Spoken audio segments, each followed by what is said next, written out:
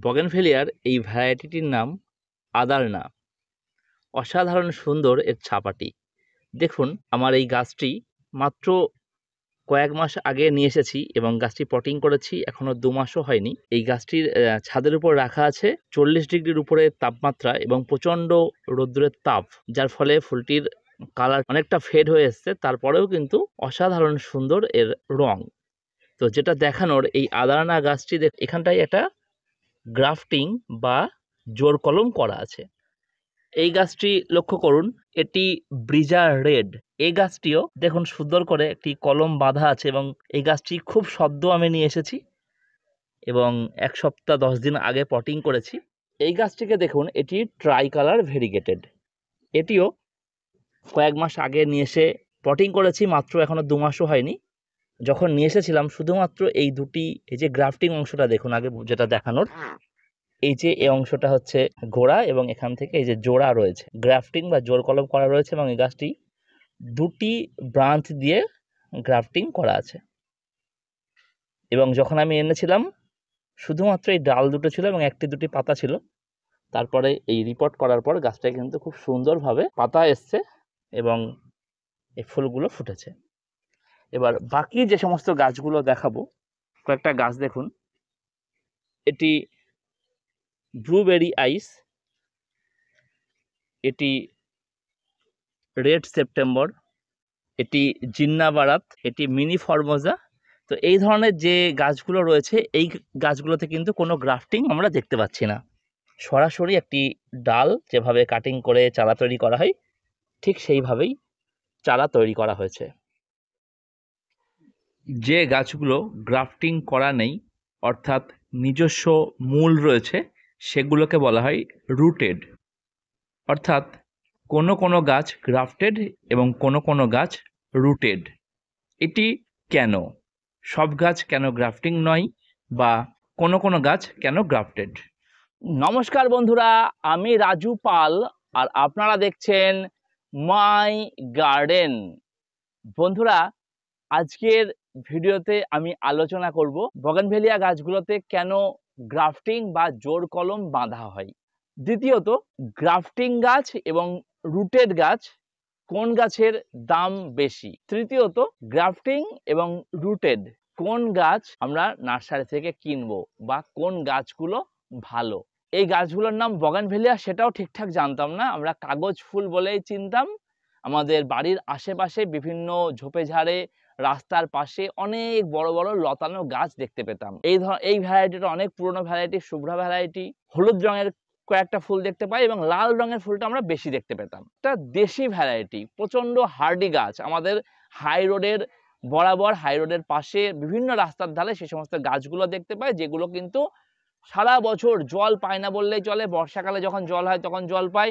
কোনো রকম যত্ন পরিচর্যা ছাড়াই কিন্তু গাছগুলো বেড়ে ওঠে এবং প্রচুর পরিমাণে ফুল দেয়। এরা খুব কষ্ট সহিষ্ণু গাছ এবং খুব হার্ডি গাছ। কিন্তু ক্যালেন্ডারের পাতা উল্টে যাওয়ার সাথে সাথে অনেক অনেক নিত্য নতুন হাইব্রিড ভ্যারাইটি, বিদেশি ভ্যারাইটি আমরা ইম্পোর্ট করছি। সেই সমস্ত গাছগুলো যেমন উচ্চতা খুব বেশি হয় না তোটা কষ্ট সহিষ্ণু নয় এবং ভারতবর্ষীয় যে জলবায়ু বা বাংলাদেশের বা আমাদের পশ্চিমবঙ্গের যে জলবায়ু সেই জলবায়ুর জন্যও সেই গাছগুলো ততটা কিন্তু উপযুক্ত নয় যে তারা একদম হেসে খেলে বেড়ে উঠতে পারবে।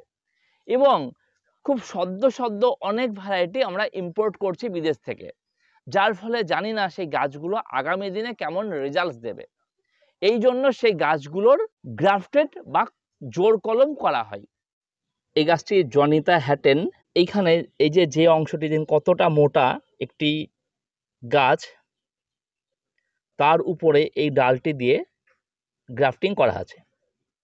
প্রধান যে গাছ বা মূল যে গাছটি, এইটিকে বলা হয় স্টক। আর জোর কলমের উপরের অংশ, অর্থাৎ যে কাঙ্ক্ষিত গাছ আমরা পেতে চাই, যেটা দিয়ে গ্রাফটিং করা হয়, সেটাকে বলা হয় সায়ন বা শিয়ন। এ বিষয়টা মাথায় রাখুন, তাহলে ভিডিওটি বুঝতে সুবিধা হবে। উপরের অংশটিকে বলা হয় সায়ন বা শিয়ন, আর নিচের যে অংশটা, রুট অংশটা, এটিকে বলা হয় স্টক। দেখে নিলেন যে কোনটা স্টক এবং কোনটা সায়ন।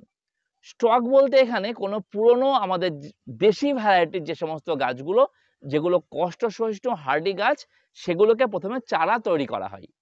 তারপরে সেই চারার উপরে যে কাঙ্ক্ষিত ভ্যারাইটি বা হাইব্রিড ভ্যারাইটিগুলোকে জুড়ে দেওয়া হয়।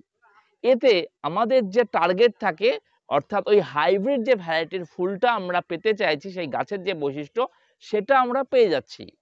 কিন্তু তার মূলটা বা তার গোড়াটা যেহেতু আমাদের দেশি ভ্যারাইটি সেই দেশি ভ্যারাইটিতে আমাদের দেশে সেটার কিন্তু মানিয়ে নিতে কোনো অসুবিধা হচ্ছে না। এটা যেমন প্রচুর খরা সহ্য করতে পারবে, প্রচুর বৃষ্টি সহ্য করতে পারবে, প্রচুর শীত সহ্য করতে পারবে। অল্প বৃষ্টিতেই বা একটু জলের এদিক ওদিক হয়ে গেলে সেই গাছটা মারা যাবে না। মাটির পিএইচ এদিক ওদিক হলেও মানে যে কোনো প্রতিকূল পরিস্থিতির সাথে কিন্তু মানিয়ে নিতে পারবে ওই গাছটি। যার জন্য আমরা গোড়াটা শক্তিশালী গোড়া পাচ্ছি এবং উপরে কাঙ্ক্ষিত আমরা ফুল পেয়ে যাচ্ছি।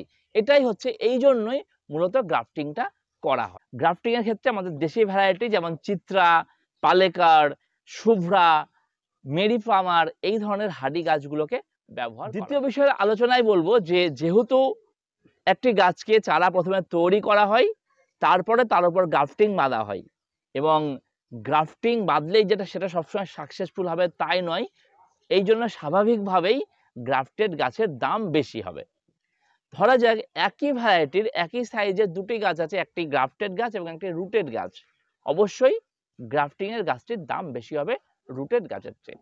তৃতীয় যে আলোচনা করব সেটা হচ্ছে কোন গাছ আমাদের কেনা উচিত বা কোন গাছ ভালো। এতক্ষণের যে আলোচনা সেখান থেকে নিশ্চয়ই আপনারা বুঝতে পারলেন। অবশ্যই গ্রাফটেড যে গাছ, সেটা অনেক বেশি উপযুক্ত হবে আমাদের ছাদ বা আঙিনা বাগানের জন্য। কারণ প্রতিকূল পরিস্থিতি যতই হোক না কেন, রোদ, বৃষ্টি, শীত বা যে কোনো রকম প্রতিকূল পরিবেশের পরিস্থিতি তৈরি হোক না কেন, ওই যে স্টক অংশটা, দেশি ভ্যারাইটি দিয়ে তৈরি, সেটা কিন্তু মানিয়ে নিতে পারবে, গাছটিকে খুব সুন্দর করে বাঁচিয়ে রাখতে পারবে। আর উপর থেকে মানে জোর কলমের উপরের যে অংশটা শিওন অংশটা যেহেতু আমাদের হাইব্রিড ভ্যারাইটি, সেখান থেকে সেই পুরনো গাছের যে বৈশিষ্ট্য, অর্থাৎ তার যে বুশি ভাব, তার যে প্রচুর পরিমাণে ফুল, তার যে ফুলের ধরন, ফুলের রং, সেই গুণাবলীগুলো ঠিকঠাক থাকবে। এই জন্য আমরা চেষ্টা করব সবসময় গ্রাফটেড ভ্যারাইটিগুলো নেওয়ার। তার মানে কিন্তু এই নয় যে প্রত্যেকটা ভ্যারাইটি আমাদের গ্রাফটেড নিতে হবে।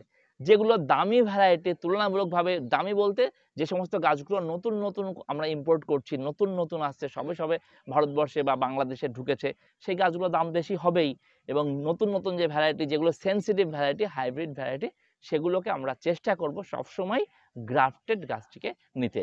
এবং গ্রাফটিং গাছ যখন আমরা কিনবো, অবশ্যই গ্রাফটিংটা ঠিকঠাকভাবে লেগেছে কিনা, সেটা নিশ্চিত হতে হবে। এরকম যেন না হয় যে গ্রাফটিং গাছ কিনে নিয়ে বাড়ি আসতে আসতে সেই গ্রাফটিংটা খুলে গেল। আর গ্রাফটিং গাছের একটা অসুবিধা যেটা আমার এখনও পর্যন্ত মনে হয়েছে, সেটা হচ্ছে যে অনেক সময় দেখা যায় আমাদের গাছগুলো আমরা একটু উঁচু করি মানে লম্বা করে রাখি, ঝড় ঝাপটা হয় অনেকের টব ভেঙে যায়, ঝড়ে টব উল্টে গিয়ে গাছ ভেঙে যায়। তো ধরুন আমার এই যে গাছটি বা এখানে যে গাছ কটা আছে, এই গাছগুলো রুটেড গাছ।